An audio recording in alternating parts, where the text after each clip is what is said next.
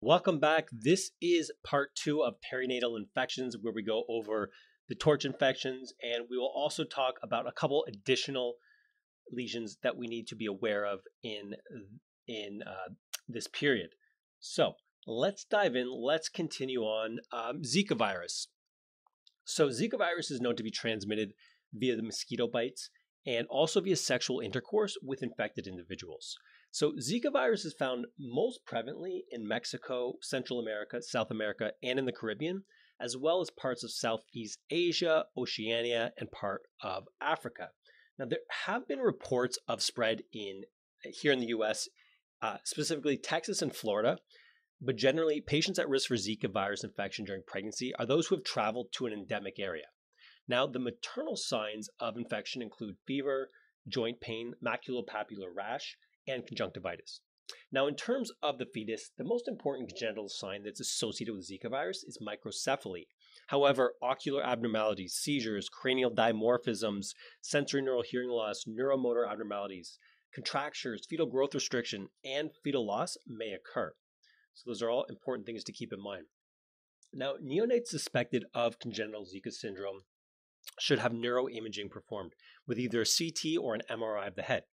Findings consistent with the disease include intracranial calcifications, cortical abnormalities, and ventriculomegaly. Now, to make a diagnosis prior to birth, the maternal serum can be tested using RT PCR for Zika virus and Zika virus IgM serology. Then, after birth, the neonate should have the same analysis performed within two days of life. The treatment for congenital Zika syndrome is supportive care and routine management of complications like anti seizure medications, physical therapy, etc. Really just depends on what bindings are present. All right, let's move on now to the R of the torch infections. This stands for rubella. Now, rubella is a preventable disease when the mother is vaccinated prior to pregnancy. This virus is transmitted transplacentally, the greatest risk of developing congenital rubella if contracted before 20 weeks gestation. Now, maternal symptoms of rubella include fever, coryza, conjunctivitis, sore throat, and cough. Now, the rash of rubella is an erythematous maculopapular rash which may or may not be pruritic. The lymphadenopathy of rubella is generalized and it is tender, and classically it is post-auricular, but suboccipital and cervical nodes can also be involved. Now, the polyarthralgias usually involve the hands, the wrists, the knees, and the ankles symmetrically and can include morning stiffness. Now, congenital signs and symptoms that you want to look out for are hearing loss, cataracts, heart defects such as a PDA and pulmonic stenosis, that classic blueberry muffin lesion, which uh, indicates cutaneous hematopoiesis, microcephaly, low birth weight, and intellectual disability. Labs that can diagnose congenital rubella include the presence of positive rubella specific IgM antibodies, persistent rubella specific IgG antibodies, meaning the antibodies are not decreasing in concentration or are higher than would be anticipated from passive transfer of maternal antibody or uh, positive viral culture and positive rubella virus uh, RNA PCR. Now, treatment is with supportive care and management of individual complications. Now, moving on to the C in torch in the torch mnemonic, this stands for uh, cytomegalovirus, which can be transmitted to the pregnant patient via person-to-person contact, sexual intercourse, or blood transfusions or organ transplants. Now, patients can be asymptomatic or they may present with pharyngitis, rhinitis, or a rash. Now, the rash varies drastically from patient to patient, but it could be maculopapular, could be macular, could be papular, uh, could be morbilliform. So there's not one distinct type of rash that you're going to expect here. Patients may also have myalgias, arthralgias, or headaches. Fetal infection occurs via transplacental transmission or via postnatal infection when exposed to cervical or vaginal viral shedding at birth, or it can happen via exposure through infected breast milk. But this much more frequently results in very mild disease without complications. Now, the congenital signs and symptoms of CMV are going to include sensory neural hearing loss, and it's important to remember that congenital cytomegalovirus infection is the most common cause of non hereditary sensory neural hearing loss. Additionally, look for hepatosplenomegaly, jaundice, petechia, microcephaly, small size for gestational age, vision impairment, seizures, and or intellectual disability, all of these may be present. Now, as you'd expect, given some of those symptoms, some lab findings that you'll see in congenital CMV include elevated direct and indirect serum bilirubin. This can cause jaundice. thrombocytopenia, which can present with petechia, um, hepatosplenomegaly, which can present with elevated transaminases, as well as hemolytic anemia. On imaging, a large variety of defects can be present in the brain, including intracranial calcifications, lenticulostriate uh, vasculopathy, ventriculomegaly, and or white matter disease.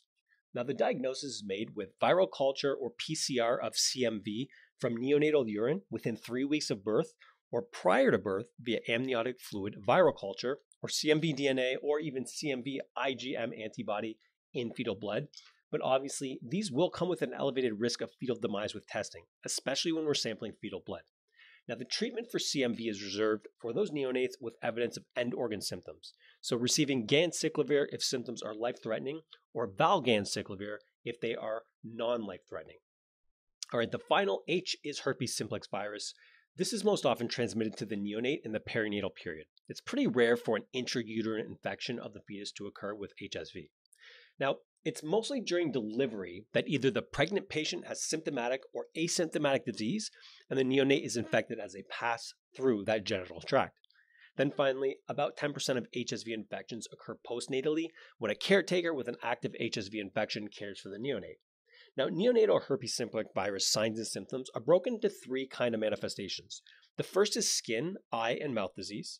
So neonates can develop typical skin lesions that are associated with HSV. Remember, that includes clusters of vesicular lesions with an erythematous base. The eye disease begins as conjunctival erythema and excessive watering and can progress to cataracts and chorioretinitis if it's not promptly treated.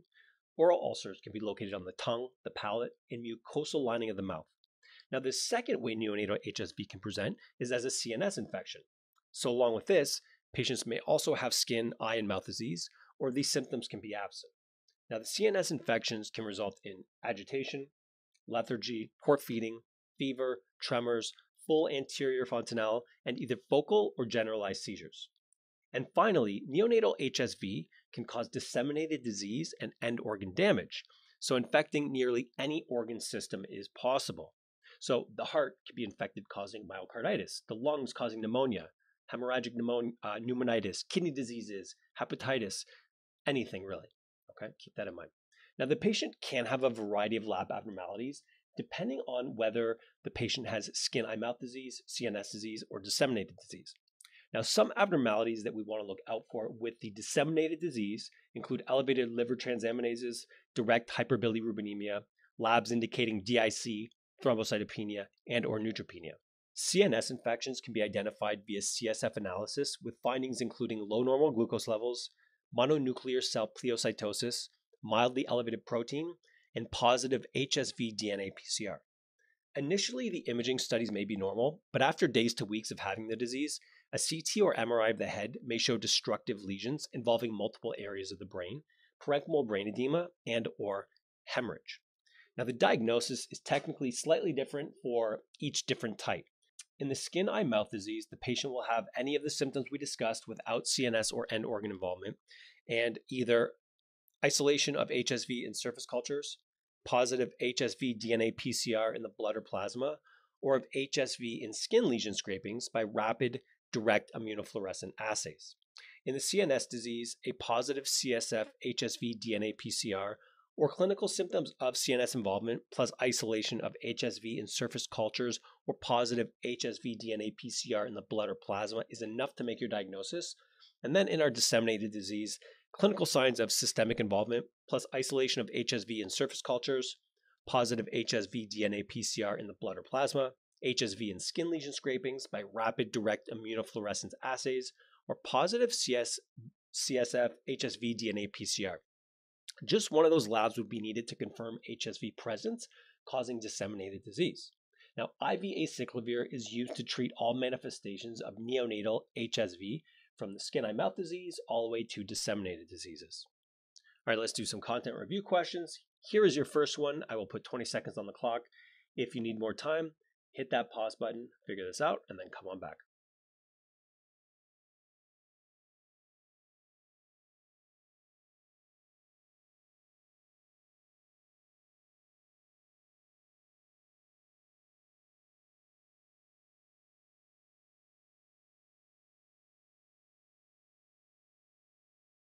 Correct answer here is C. Next question 20 seconds on the clock. If you need more time, you guys know what to do.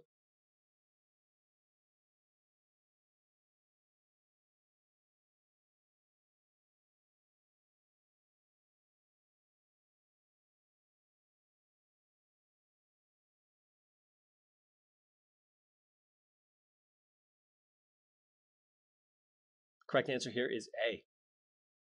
Last question. I will put 20 seconds on the clock. Come on back when you got the right answer.